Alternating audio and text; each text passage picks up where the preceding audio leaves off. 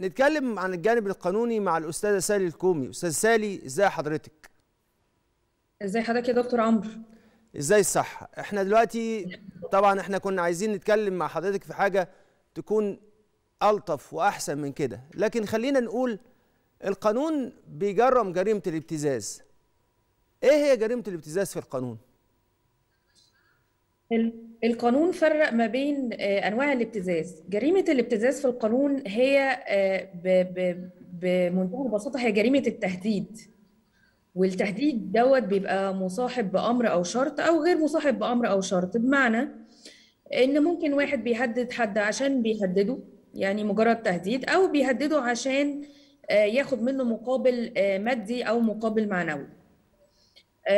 قانون العقوبات آه، جرم الفعل بتاع الابتزاز أو التهديد المصاحب لأمر أو شرط. آه، آه، إذا كان آه، آه، يعني في حالة طلب المقابل بالأشغال الشاقة المؤبدة. ولو كان التهديد ده بدون مقابل فبيتم آه، تخفيض العقوبة إلى حبس. والعقوبة طبعاً دي مع التطور- والعقوبة دي من العقوبات المشددة. المؤبد ده نوع من أنواع العقوبات المشددة اللي هي ضخمة. طبعا طبعا. طيب و- و- وده يعني مع التطور ابتدى آه، قانون الجرائم الإلكترونية آم، نص كمان على نوع تاني من أنواع الابتزاز وهو الابتزاز الإلكتروني.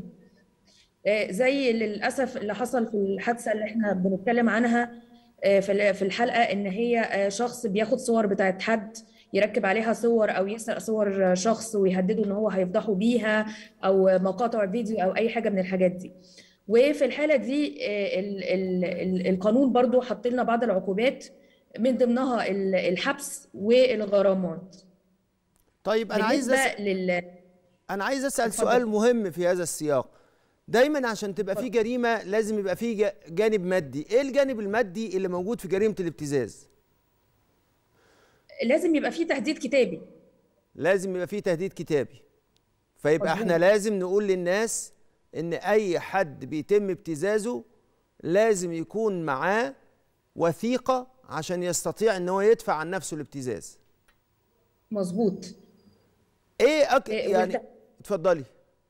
التهديد ال ال ال ال الإلكتروني ممكن يبقى آه، كتابي وممكن يبقى شفهي زي رسائل صوتية مثلا على الواتساب أو أو على أي وسيلة تواصل اجتماعي يعني. دي وسيلة دي كمان دي كمان بتمثل جانب مادي في مسألة الابتزاز.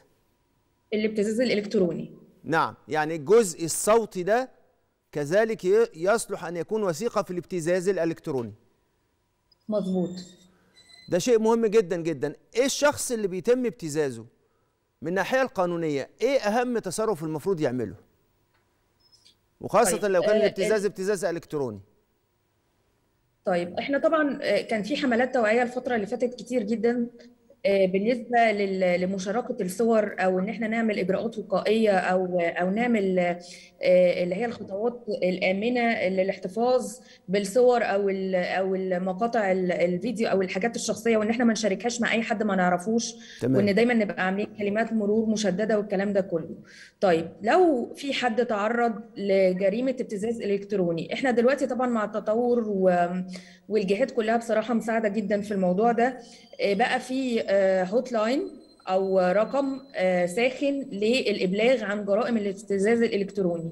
يعني لو في أي آه، فتاة سيدة آه، بتتعرض لج... ل... لأي شكل من أشكال الابتزاز الإلكتروني وعندها الإثبات اللي هو الرك- الركن المادي فهي ممكن آه، تقدم بلاغ في الشرطة أو تكلم الرقم الساخن المخصص للإبلاغ عن جرائم الابتزاز الإلكتروني.